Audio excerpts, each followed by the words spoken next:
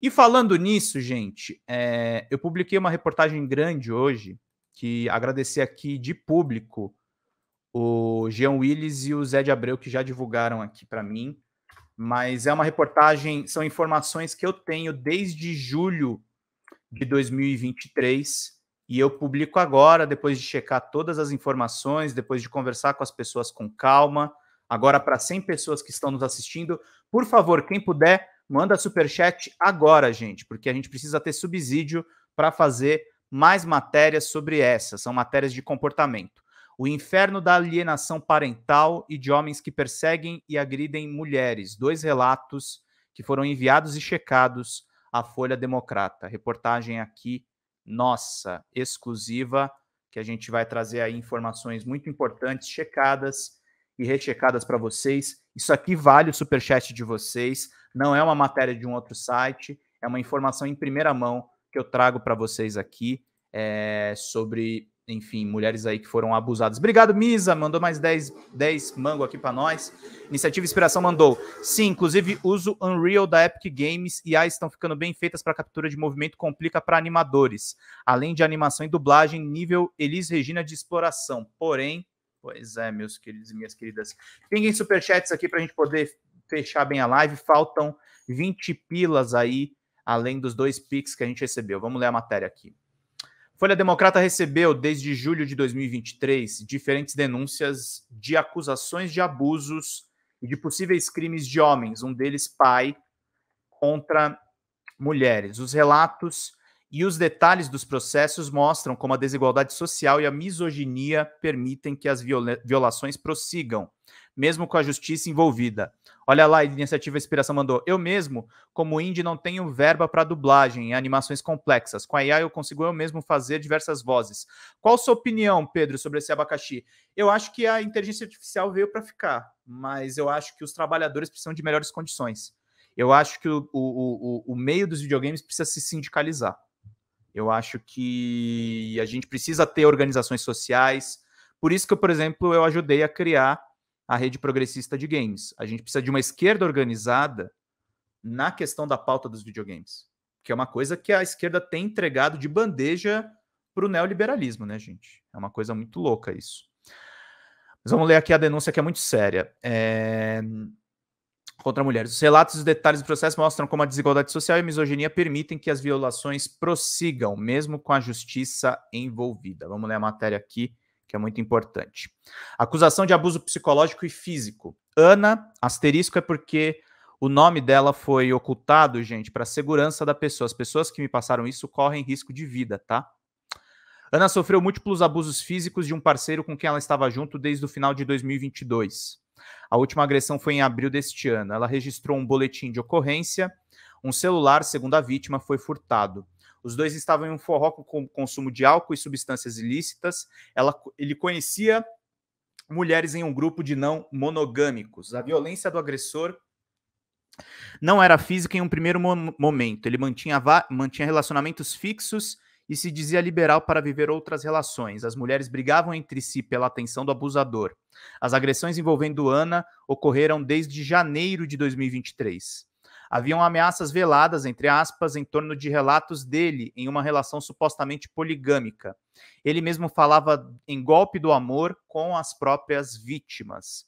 O homem acusado de agressão, Wellington Bertarello, é conhecido pelo apelido Gatilho Verbal e atua como rapper na região de Itu, no interior de São Paulo. A Folha Democrata recebeu BO de Ana e mais um processo por agressão que dão embasamento a esse relato de ataques psicológicos e físicos. Ligado à religião evangélica, Bertarello parecia para a vítima querer sair de processos de, de acusações de crimes na justiça. Ele tinha, inclusive, acusação aí de, de assalto, de um monte de coisa bem complicada. Após, após sair um mês com a vítima no começo do relacionamento, apresentou sua família em Tu. No entanto, já colocou na conversa é, que uma ex-namorada não tinha gostado do relacionamento dele com Ana.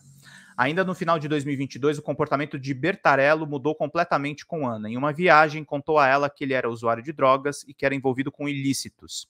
Ele não demorou para revelar a sua verdadeira personalidade, que é além de relações poligâmicas. O rapper começou a monitorar a vida dela e os seus relacionamentos buscando apoio financeiro. acompanhava e buscava saber a movimentação financeira de Ana com em um comportamento narcisista, pedia centenas de reais em Pix para pagar tatuagem, festas e diversão. Em abril de 2023, a vítima acusa Wellington Bertarello de tê-la estuprado, agredido e furtado o smartphone. A acusação de roubo de celular, um modelo Samsung, foi registrada em um BO que a Folha Democrata teve acesso. Antes desse caso, ela diz que enfrentou uma tentativa de homicídio. A agressão do homem supostamente poligâmico fez tudo isso voltar. Ana convive com ataques de pânico, faz tratamento psicológico e chegou a ser abordada pelo, pelo agressor pelo WhatsApp. Orientada por especialistas, bloqueou e evita qualquer tipo de contato com ele. Fotinho do cara é esse aqui, esse aqui de óculos, que está no canto esquerdo, gente. Gatilho verbal. E do lado direito vocês têm aqui o boletim de ocorrência ocultando os dados da vítima, modelo Samsung, ocorreu aí em Itu. Eu não coloquei o endereço exatamente do local, porque é importante a gente ter algumas, algumas precauções. Acusação de alienação parental e abuso econômico. O caso de Joana já foi parado nos tribunais e a decisão que ainda cabe recurso foi desfavorável para ela. Mulher preta sentiu na pele como o preconceito a separou de sua filha. Acusa o pai da criança de envolvimento em um episódio de agressão. Os dois se conheceram em um camarote de uma balada na noite de São Paulo. O envolvimento foi rápido, uma noite e ela engravidou. Foi um erro ter conhecido ele naquele lugar e naquele momento, foi tudo um erro, lamenta ela. A noite não deixou nenhuma recordação na memória de Joana, ela foi encontrada desacordada pela mãe no dia seguinte, passou mal. Pelo relato de parentes, a vítima acredita que foi dopada pelo homem que a acusa de crimes, com possível abuso físico. Joana narra que Rodrigo Gomes teve embates desrespeitosos com sua mãe e pediu para ela abortar uma criança ou fazer um teste de DNA.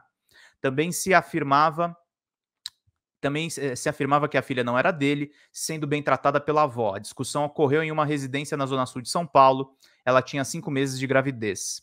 A vítima nunca teve coragem de denunciar porque Rodrigo Gomes se vangloria de ter parentes em cargos públicos e na polícia, caso tivesse, é como se tivesse costas quentes. Um tom de ameaça nas falas dele marcou o relacionamento durante toda a gravidez da menina menor de idade envolvida nos processos, segundo Joana.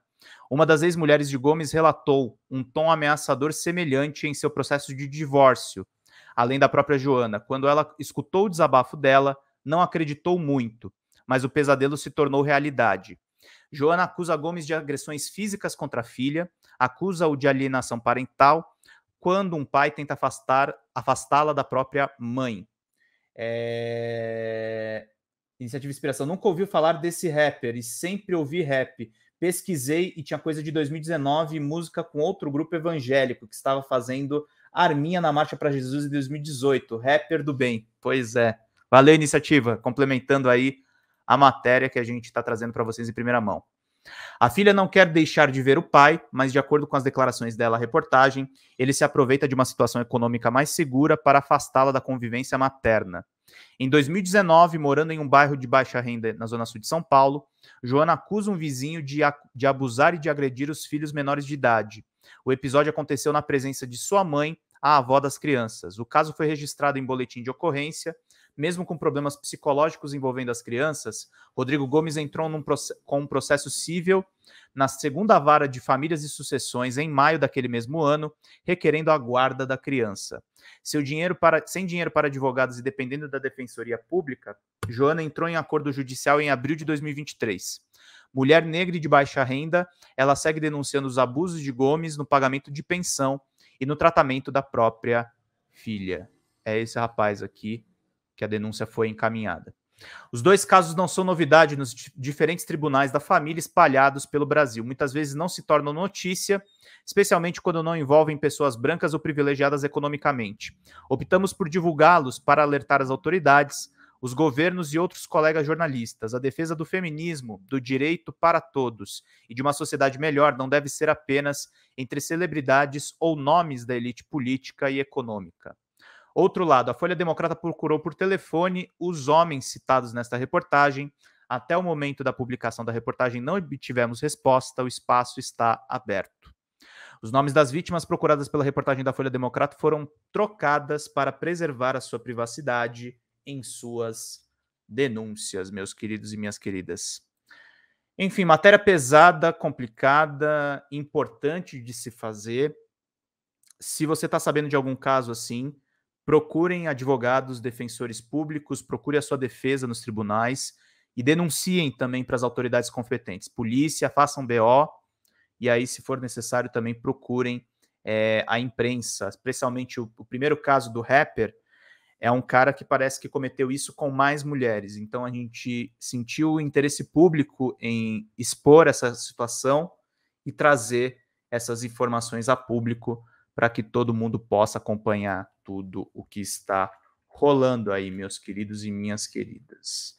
Muito importante, matéria responsável, bem feitinha, para vocês entenderem tudo o que está rolando. E eu acho que ela vale aí um super chat de vocês é, eu achei que eu tinha mandado o link aqui. Não, já mandei o link aqui para vocês. Então leiam, compartilhem a matéria nos grupos do WhatsApp dos amigos de vocês para todo mundo ficar muito bem informado, meus queridos e minhas queridas.